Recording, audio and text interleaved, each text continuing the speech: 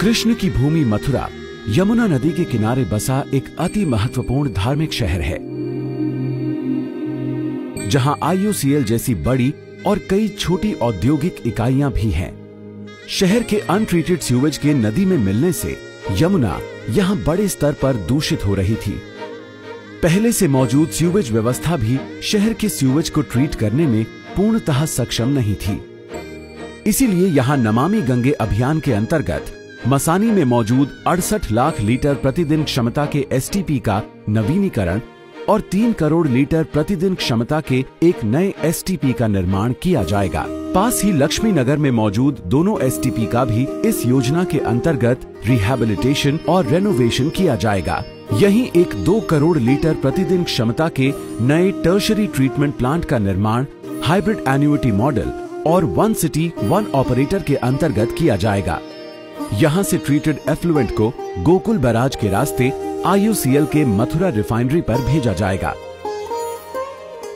इस योजना के अंतर्गत मथुरा में 12.73 किलोमीटर के राइजिंग मेन का निर्माण 4.7 किलोमीटर के नाला टैपिंग व्यवस्था का रिहेबिलिटेशन कार्य, मौजूदा आठ सीवेज पंपिंग स्टेशंस का रिहेबिलिटेशन कार्य और एक नए सीवेज पंपिंग स्टेशन का निर्माण भी किया जाएगा।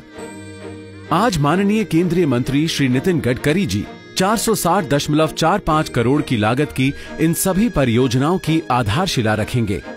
इनके अतिरिक्त मथुरा में औद्योगिक प्रदूषण की रोकथाम के लिए बासठ लाख लीटर प्रतिदिन क्षमता के टेक्सटाइल प्रिंटिंग वाले कॉमन एफ्लुएंट ट्रीटमेंट प्लांट का अपग्रेडेशन तेरह दशमलव आठ सात करोड़ की लागत से किया जाएगा।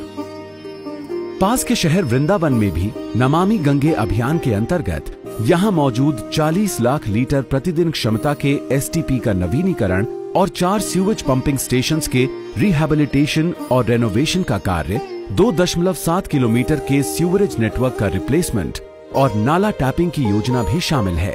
इस योजना के अंतर्गत यहाँ की सीवरेज व्यवस्था को प्रभावशाली बनाने के लिए दोनों एसटीपी को जोड़ा जाएगा। आज माननीय केंद्रीय मंत्री श्री नितिन गडकरी जी तैतीस दशमलव आठ दो करोड़ लागत की इन सभी परियोजनाओं की भी आधारशिला रखेंगे। यहाँ आने वाले श्रद्धालुओं को साफ़ सुथरे घाट मिले, इसलिए अगले तीन सालों तक तीन दशमलव छह करोड़ की लागत से मथुरा और वृंदावन के 27 घाटों की नियमित रूप से सफ़ाई की जाएगी। यमुना की सतह की सफ़ाई के लिए ट्रैश स्किमर का उपयोग किया जा रहा है। मथुरा वृंदावन में यमुना की स्वच्छता संपूर्ण यमुना की निर्मलता नमामि गंगे की प्राथमिकता है, एवं निर्मल गंगा के लिए आवश्यक है।